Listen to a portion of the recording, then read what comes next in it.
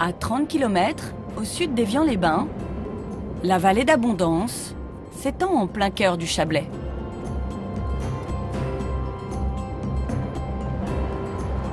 Frédéric Royer est fromager. Il sillonne les routes à la recherche de produits d'exception. Ce matin, il a rendez-vous chez un petit producteur qui fait renaître un fromage oublié, le vacherin d'abondance. C'est un fromage qui ne se fabrique uniquement en hiver, quand il fait froid. Le, froid doit être là. Et surtout, le démarrage de, la fabrication démarre uniquement quand il y a de la neige autour des maisons. Alors, c'est vrai que c'est une période euh, très précise pour euh, lancer le vacherin d'abondance. Alors, on parle de patrimoine puisque c'est un fromage qui a plusieurs centaines d'années. À l'origine, il était fabriqué euh, dans toutes les fermes. C'est un fromage fabriqué par les femmes. Et, petit à petit, je ne sais pas pourquoi, malheureusement, mais ça s'est perdu. C'est un fromage un peu mystérieux par sa fabrication et par son affinage, très capricieux également. Ce vacherin était déjà très apprécié par les ducs de Savoie au Moyen Âge.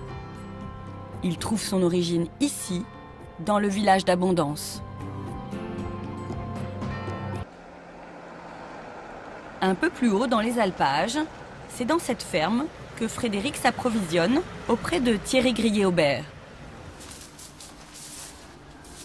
À l'intérieur de l'étable, deux vaches, haïtiennes et gaieté, assurent en trois mois l'intégralité de la production du vacherin d'abondance, soit près de 900 fromages. Bah, c'est le lait de vache, puis on met de la présure, on attend une heure, on le met dans les moules là, on, on, évite de le casser, après on les ferme, c'est pour qu'ils s'égouttent. L'histoire veut qu'on utilisait des draps, des vieux draps aussi, et que les fromages s'affinent sur des draps. Puis après, je vais leur mettre les, je mets les sangles, juste pour qu'ils se tiennent un peu plus haut comme ça, pour qu'ils s'égouttent mieux. C'est une sangle d'écorce d'épicéa. Donc on va retrouver vraiment ces arômes d'épicéa très présents dans cette texture qui va être euh, un peu flan, peu, un peu crème, pas trop liquide. Et donc ça, c'est vraiment la particularité. Il n'y a aucun fromage qui ressemble à ça. On ne pourrait pas en fabriquer 100 fromages par jour, c'est beaucoup trop de travail. Rien que pour 10 à 15 vacherins par jour, c'est pratiquement un mi-temps. Bah, moi j'aime bien la petite fabrication en fin de compte. J'ai toujours aimé ces fromages qui se perdent et, et tout comme ça. Après la première phase d'égouttage, le linge est enlevé et les fromages sont affinés plusieurs semaines dans une cave.